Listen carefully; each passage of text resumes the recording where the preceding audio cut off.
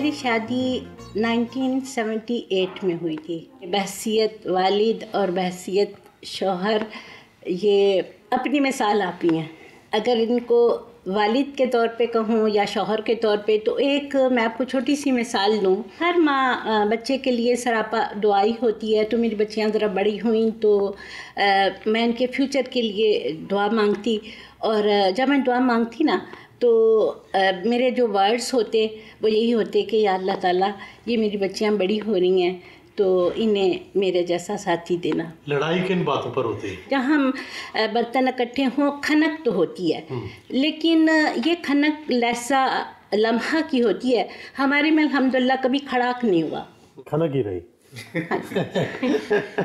आप बताएँ जी आपने अपने वालिद से क्या सीखा? मैंने अपनी एजुकेशन के बाद, जब से प्रोफेशनल लाइफ में मैं आया हूँ तो इनको मैंने एज ए मेंटोर ही इनको लिया है।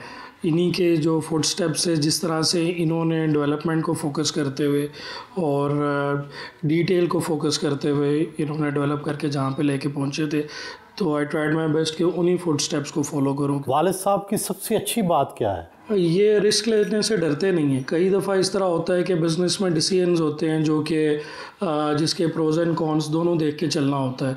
और सम टाइम जो है उसको अगर हम एक्टिवली उसको प्रोसीड कर रहे हैं उसमें हमें काफ़ी हैवी इन्वेस्टमेंट करनी पड़ती है। तो वो रिस्क लेने से नहीं डरते वो बिल्कुल पूरा कॉन्फिडेंस देते हैं कि भाई आप चलें तो वो एक बड़ी पॉजिटिव चीज़ है जिससे हमें भी मोटिवेशन मिलती है। आपने कहाँ से तालीम हासिल की? आ, मेरी एम एस सी थी मैकेनिकल मैन्युफैक्चरिंग में लफबरा यूनिवर्सिटी इंग्लैंड से मैंने की थी। आपने अपने वालिद से क्या चीज़ सीखी जिसको आगे बढ़ाना चाहेंगे? बिज़नेस में काफ़ी स्ट्रेस आते हैं वैसे डेली लाइफ में भी स्ट्रेस काफ़ी आते हैं।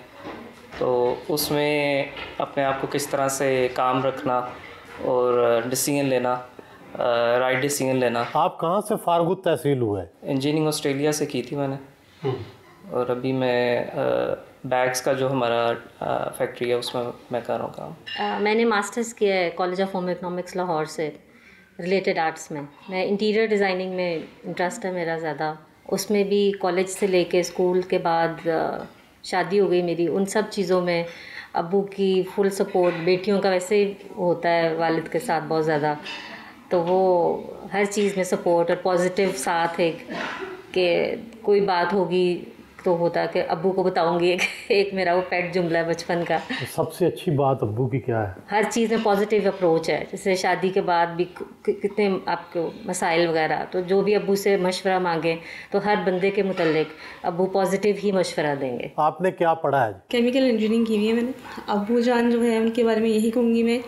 He is a person of his own kind challenges पे लेना है तो अबू की सपोर्ट जो है वो हमेशा आपके पीछे होगी। और जो एक और जो मुझे ख़ास बात लगती है वो ये कि माशाल्लाह जो अल्लाह ताला का करम है, वो उसी बात पे होता है, जब आप, आपका अखलाक और आपकी इबादत, वो दोनों जो है वो खालिश हों। तो माशाल्लाह, अल्लाह का बड़ा एहसान है कि अब्बू में वो दोनों चीज़ें जो हैं वो आप चच्ची हैं और जापान से हैं, और आप ये बताएँ कि ख्वाजा मसूद साहब जो हैं ये कैसे आदमी हैं, कैसे इंसान हैं? Masood is a very very good man है very good man not like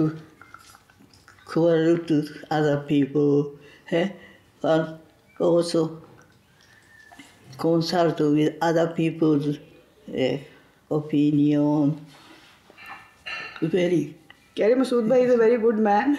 He's never cruel to other people and always consults with other people. So uh, he's not like most people she knows.